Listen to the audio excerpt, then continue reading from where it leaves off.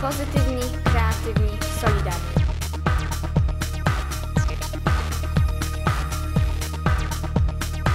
Moi drodzy, e, w tym roku to już e, druga poważna sprawa, drugie wydarzenie, w którym braliście udział.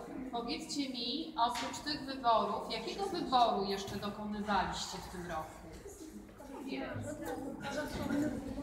Dobrze, mamy jedną osobę, która tu się zgłasza i wie kto jeszcze? Dobrze.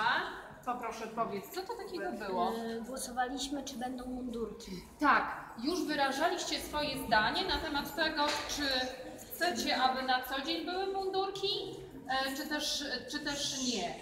Ale oczywiście oprócz tej sytuacji teraz jeszcze zagłosowaliście e, w sprawie wyborów do samorządu uczniowskiego. E, Są to bardzo, bardzo ważne wybory, ponieważ jak wiecie, samorząd uczniowski jest wyrazicielem Waszych opinii, Waszych próśb i to właśnie samorząd będzie reprezentował Was e, w rozmowach z dyrekcją, z nauczycielami. I dzisiaj ogłosimy, kto został przewodniczącym lub przewodniczącą, to za chwilę się okaże i jakich macie zastępców. Więc moi drodzy, zamieniamy się wszyscy w słuch teraz. Zaczniemy od zastępców, żeby emocje urosły. I zastępcą przewodniczącego lub przewodniczącej jest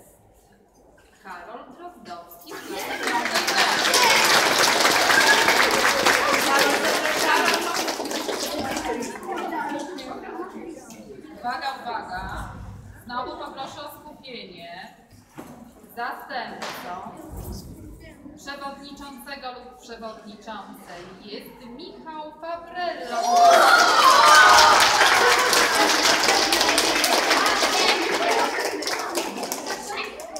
Uwaga, uwaga. Kwestia najważniejsza. Emocje rosną. Kto będzie przewodniczącym lub przewodniczącą waszego samorządu? Bardzo ważnej dla was instytucji tak naprawdę, która będzie wyrazicielem waszych opinii. Kto to może być i czym będzie się zajmował, dowiecie się już za chwilę. A mianowicie jest to uczennica klasy szóstej B.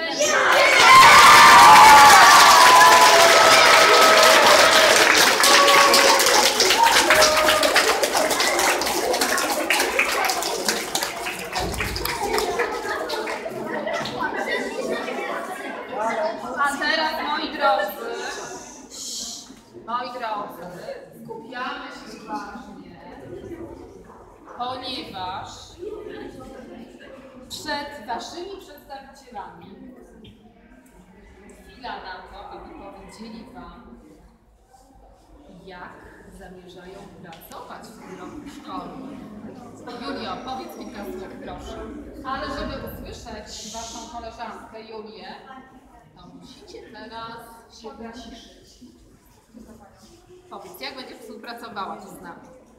E, Więc tak, e, na początek chciałabym e, popytać kilkoro wybranych uczniów, co by chcieli na przykład wprowadzić albo zmienić w naszej szkole. Mhm.